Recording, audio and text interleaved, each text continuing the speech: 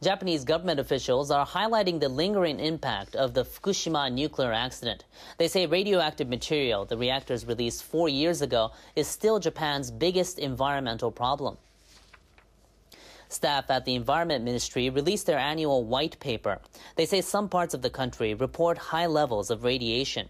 They say communities near the crippled nuclear plant are suffering depopulation and the economic damage resulting from rumors and misinformation. The ministry staff propose ways to help those communities recover. They urge municipalities to generate more power from renewable sources, and they suggest using some of the revenue to support businesses that help evacuees move back. I mean, what the hell is wrong with these people? And if they're here at Walmart, where are their kids? Oh, of course. I should say something about Fukushima and also Chernobyl, but certainly now Fukushima and infertility. The, the, the truth is that infertility has been in, uh, increasing in the world for the last 30 or 40 years, probably because of all the radionuclides that, are, that people are exposed to, originally from the weapons fallout, uh, the global atmospheric testing, and then from Chernobyl, and now from Fukushima.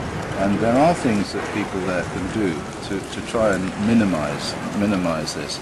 Uh, but the main thing is to get away from the radiation, but, and because they, what they have to realize is that this, this is an invisible, uh, it's an invisible attack on, on the human race. It's something that will, will appear over the next 20, 30, 40 years, and, and its cause will not really be investigated. So we also predict, I also predict, on, uh, as a result of this ECRR model, that there will be significant increases in infertility in Japan as a result of this accident, and this is quite terrible. And in, any, in many ways, it's more terrible than the cancer in adults because it's, it, it's destroying children who, who could have been born but now will not be born. And some of those who are going to be born from our studies in the Middle East will have horrifying deformities and, and will obviously in an advanced uh, country like Japan will be aborted, uh, uh, you know, um, uh, clinically clinically aborted before they get born. So the, the birth rate will fall. Uh, what did the data show until now, before Fukushima? Oh yes, the, the data has been showing that um, that the birth rate, uh, that the that the, the, the, the sperm count in men has has been falling drastically. Uh, there was a very important study done in Jerusalem a few years ago, which showed that Israeli men had, had very low sperm count, and that over the previous 10 years it had fallen by a significant amount. And the, and the authors of that study said that if it continued to fall at the same rate, by the year 2020, that they would be totally infertile and the Israelis would, would have no more children. It's as bad as that. It's as bad as that. And we are, so we're, we're now, as a result of Fukushima, introducing a huge load more of this stuff into the atmosphere. But I have to say that it will mostly affect the Japanese, as far as I can tell. It will mostly be a Japanese affair, but that doesn't make it any better. And where does the radiation uh, come in Israel? Come from in Israel? In Israel, it comes from the uh, use of, of uranium weapons. The massive, massive, massive use of uranium weapons by the uh, by the various military um, invaders, I suppose you would call them, the U.S., the, the, the allies, they call them, uh, used hundreds and maybe thousands of tons of uranium weapons. Um, there's a new weapon now which uses uranium, and we've made measurements in the hair of the mothers in Fallujah uh, and uh, mothers of children with congenital anomalies. Uh, and this study hasn't been published yet, but what we have found is significant man-made uranium in the hair of these mothers, which is almost certainly the cause of the congenital anomalies.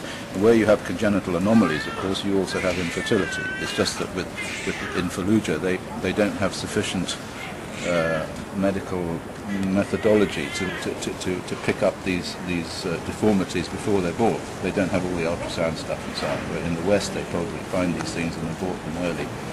So that's why we have these big increases. But the increases are associated with an environmental exposure to uranium. That's the point. And, and you have to remember that Fukushima contains probably 2,000 tons of uranium. 2,000 tons.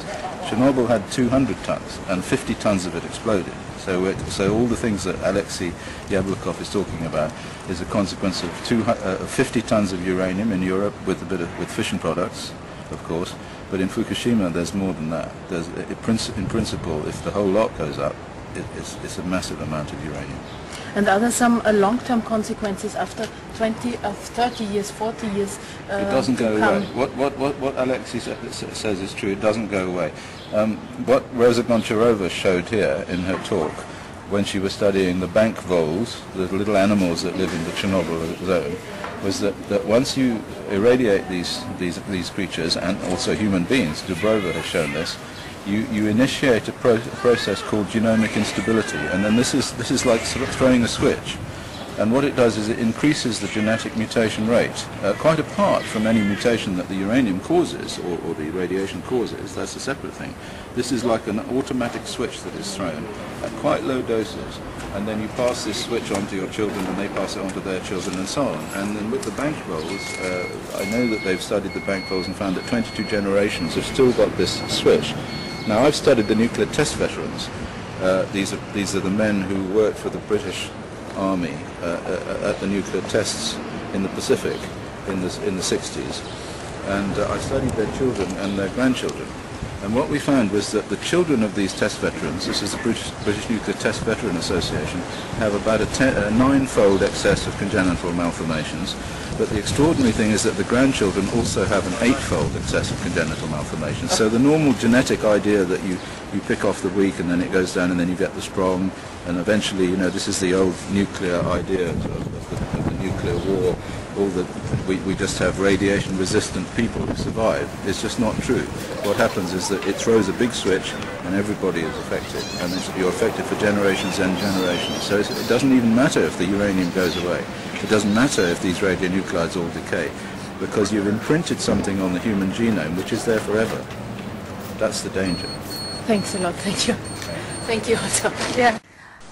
Bob Alvarez, you've come out with a new report. What are your main findings? Well, uh, my report dealt with the vulnerabilities and hazards of stored spent fuel in, at uh, U.S. reactors in the United States. Uh, the United States uh, shares uh, similar designs, uh, reactor designs, as as the Japanese reactors at the Fukushima Daiichi station. And if you watch the accident unfold at at the Daiichi station, uh, the explosions basically showed you that the spent fuel pools uh, were exposed to the open sky. Uh, we are, in the United States are currently storing on the order of three to four, five times more radioactivity in our pools than in uh, Japan, and that the amount of radioactivity that we are storing in unsafe, vulnerable pools constitutes the largest concentrations of radioactivity on the planet.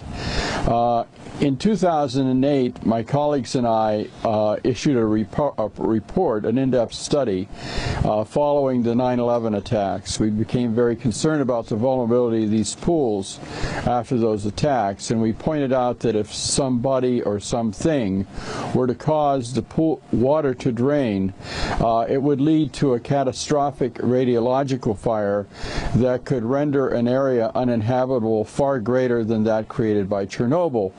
Chernobyl created an area that's currently uh, uninhabitable, uh, uh, that's approximately the size of half of the state of New Jersey. Uh, the fact of the matter is, is that uh, we we don't have a final resting place for these wastes. We've been trying to find a disposal site for these wastes for the last 55 years. And the reality is that these wastes are going to continue to accumulate at U.S. sites, and the reactor operators are going to continue to squeeze uh, uh, spent fuel into pools that have no nowhere near the level of protection of reactors. I mean, these pools are contained in structures that you would find at car dealerships or big box stores. And um, for example, the Nuclear Regulatory Commission does not require the pools to have backup diesel generators if they lose off-site power. Uh, it's very important to keep the the pools cool, uh, and uh, they they do pose some very very serious risks. They are, in my opinion, the most serious vulnerability of nuclear power that we have in the United States. And but what are the alternatives? Uh, given the fact, obviously, that that the United States government, like uh, uh, several other governments around the world, are determined to continue uh, to expand the use of nuclear power. What are the alternatives for storing the spent fuel?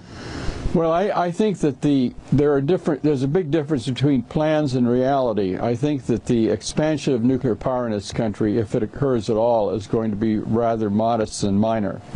We have to be concerned about the 104 reactors that are operating uh, and the the generation of that material and that we should be doing what Germany did 25 years ago, which is to thin out the pools, use them for the original purpose they were intended, which is to uh, allow the spent fuel to cool off for several years, and then to place the, the spent fuel into dry, hardened storage modules.